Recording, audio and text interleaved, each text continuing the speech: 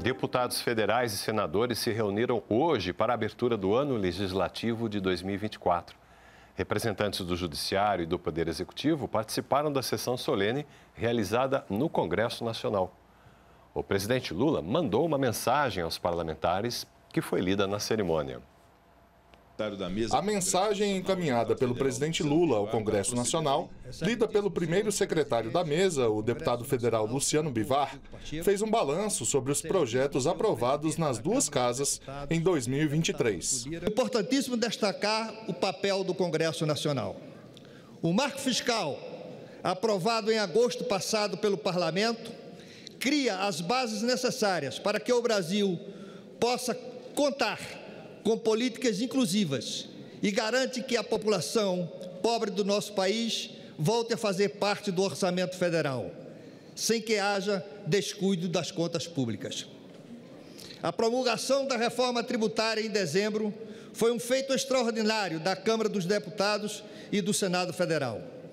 Em conjunto com os esforços do Executivo, ambas as casas conseguiram criar as bases para um novo modelo tributário muito mais racional, justo e eficiente. Na mensagem do Judiciário, o ministro Edson Fachin, vice-presidente do Supremo Tribunal Federal, fez um balanço dos trabalhos e falou sobre projetos importantes para o Judiciário que tramitam na Câmara e no Senado. Ao final do discurso, o ministro reconheceu o Legislativo como o mais democrático dos poderes.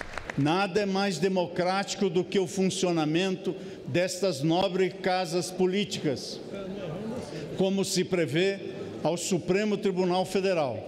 Compete principalmente a guarda da Constituição, mas não é o Judiciário quem reflete a rica pluralidade e diversidade de interesses que compõem o país. O presidente da Câmara, deputado federal Arthur Lira, afirmou que a casa está comprometida com projetos que tragam os avanços necessários para o país. Quem tanto fez ano passado, abre hoje o ano legislativo com foco, determinação e mais vontade de entregar aquilo que realmente interessa ao país.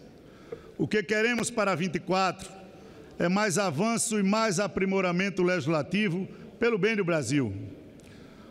E para isso, seguiremos firmes na prática da boa política, pressuposto mais do que necessário para o exercício da própria democracia.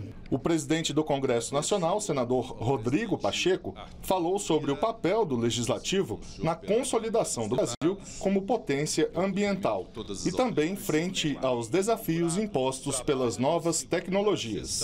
No presente ano, buscaremos explorar a singular oportunidade que o Brasil possui de se tornar uma potência mundial na transição energética e na economia verde segmentos para os quais nosso país é inegavelmente vocacionado.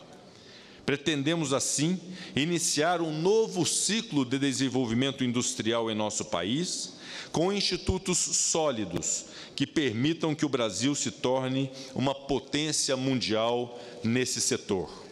Além disso, é imperativo avançarmos na regulação da inteligência artificial e das plataformas de redes sociais.